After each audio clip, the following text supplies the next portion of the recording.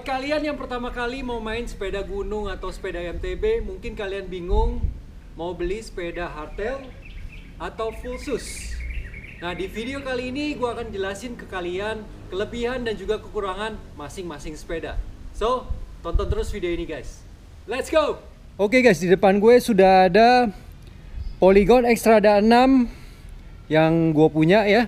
Size-nya L ya 29ers dan juga Polygon Siskiyou D7 size-nya juga sama L 29ers ya jadi keduanya size-nya identical atau sama. Uh, ukuran roda juga sama sama-sama 29 inci. Nah sekarang kita bahas kelebihan dan juga kekurangan masing-masing. Oke kelebihan yang pertama dari sepeda jenis hardtail adalah harga pada saat kalian mau membeli sepeda untuk pertama kali ya sudah pasti kalian harus tentukan budget dulu ya. Nah, hardtail ini adalah sepeda MTB atau sepeda gunung yang harganya paling terjangkau. Terutama buat kalian yang punya budgetnya mungkin minim sudah pasti hardtail yang harus kalian beli untuk pertama kali. Kenapa? Karena sudah pasti harganya lebih murah dibandingkan dengan sepeda full sus. Oke, kelebihan nomor dua yaitu lebih mudah untuk di maintenance ya. Jadi untuk biayanya juga lebih murah dan lebih mudah. Kenapa? Karena dia tidak ada suspensi belakang.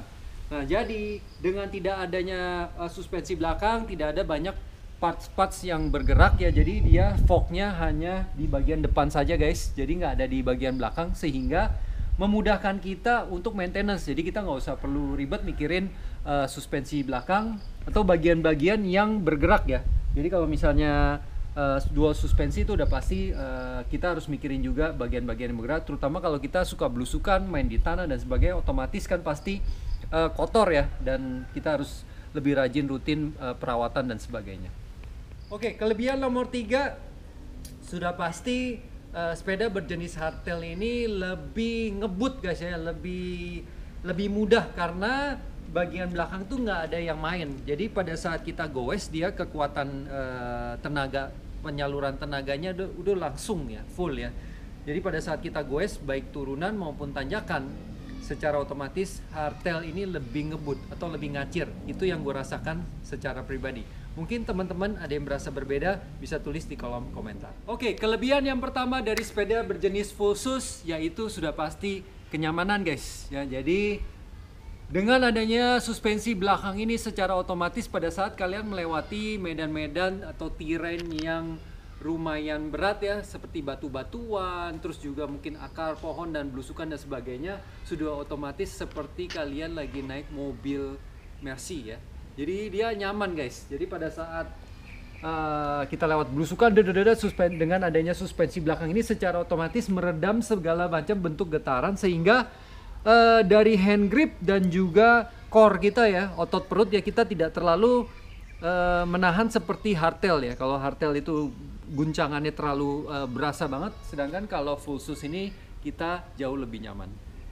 Kelebihan nomor dua guys, dengan adanya suspensi belakang secara otomatis medan-medan yang sulit untuk dilewati dengan sepeda berjenis hardtail itu dengan mudah bisa kita lewatin dengan jenis sepeda khusus ya guys ya. Tetapi khusus juga ada batasannya. Karena yang gue miliki ini adalah uh, Siskiyou D7 dengan travel suspensi depannya 120 jadi ya ini ada batasannya juga guys. Jadi nggak bisa kita benar-benar bawa ke medan yang terlalu ekstrim ya karena travel suspensi depannya tidak terlalu setinggi mungkin sepeda jenis uh, enduro yang travelnya mungkin di atas 140 sampai 150 sampai 160 ataupun sampai 200 ya. Nah, ini tetap ada batasannya tapi ini lebih mumpuni untuk diajak ke medan-medan yang seperti bike park dan sebagainya. Oke, dari ke kelebihan sudah pasti juga ada kekurangan di masing-masing sepeda. Jadi eh, nggak uh, ada sepeda yang perfect ya guys ya. Jadi kalau untuk kekurangan sepeda hardtail sendiri dibandingkan dengan dual suspensi sudah pasti kenyamanan. Nah pada saat kita bawa ke medan-medan yang blusukan, ya uh, trail, ya sudah pasti secara kenyamanan dual suspensi pasti jauh lebih nyaman dibandingkan uh, sepeda berjenis hardtail karena hardtail ini nggak ada suspensinya guys. Jadi uh, kalau kita lewatin jalan-jalan jelek tuh dia agak-agak rough ya kalau kita lewatin tuh duduk-duduk secara tangan dan juga core perut udah pasti uh, lebih berasa guys dibandingkan dengan sepeda berjenis full sus. Kekurangan dari sepeda full sus itu sendiri udah pasti budget guys ya. Pasti kalian harus menyiapkan uh, budget yang lebih besar dibandingkan atau lebih banyak dibandingkan dengan sepeda hardtail. Ya tetapi tidak menutup ke, uh, kekurangan bahwa uh, kalau kita punya budgetnya pas-pasan ya sepeda hardtail sendiri menurut gue sudah cukup mumpuni ya untuk kita ajak uh, ke banyak hal lah ya mungkin dengan kekurangannya yaitu kenyamanan Ya, tapi baik lagi kita harus sesuaikan kembali dengan budget yang ada. Oh ya, kekurangan dari sepeda full sus menurut gue pribadi karena dia ada travel suspensi bagian belakang ya sudah pasti pada saat nanjak itu hardtail lebih ngacir guys penyaluran tenaganya dibandingkan dengan full sus ya. Kalau hardtail karena dia nggak ada suspensi jadi pada saat kita gue tenaganya langsung direct ya. Tapi kalau misalnya full sus karena dia ada travel suspensi main belakang gitu ya jadi eh, tenaganya itu nggak langsung ke roda ya. Nah tapi ada kelebihan juga pada saat dia turunan eh, speeding lewatin jalan rusak. Nah untuk pengereman karena dia main travel suspensinya jadi eh, ban belakang itu dia ngerem tuh lebih mantep guys pada saat kita turunan lewat jalan jelek. Nah itu dia lebih mantep dibandingkan dengan hardtail. Nah hardtail kan karena dia nggak ada suspensi belakang jadi dia kayak lompat-lompat gitu sehingga pada saat kita sambil sedikit mainin braking gitu ya jadi uh, bagian belakang itu kayak deg deg deg jadi nggak benar-benar mantap semantap uh, full Oke okay guys, jadi untuk teman-teman yang pemula dan baru mau memutuskan untuk mulai uh, sepedaan, terutama sepeda MTB atau sepeda gunung, baiknya kalian menentukan dulu budget ya sebelum kalian membeli ya. Kedua sepeda ini baik sus, uh, full sus maupun hardtail menurut gue keduanya fun ya. Keduanya menyenangkan dan bisa membawa kita belusukan masuk-masuk mencari uh, view-view petualangan dan sebagainya. Jadi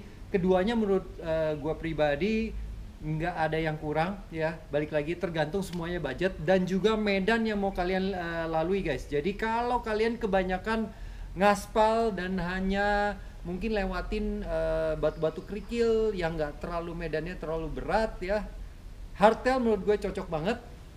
Ya tapi kalau kalian banyakkan mainnya di area-area belusukan yang uh, medannya lebih ekstrim uh, banyakin lewat batu-batuan yang besar-besar mungkin sepeda khusus menjadi jawaban buat teman-teman Oke kalau kalian suka dengan video ini jangan lupa klik tombol like dan subscribe channel gue And jangan lupa selalu gue jaga kesehatan and I'll see you in the next video. Bye guys!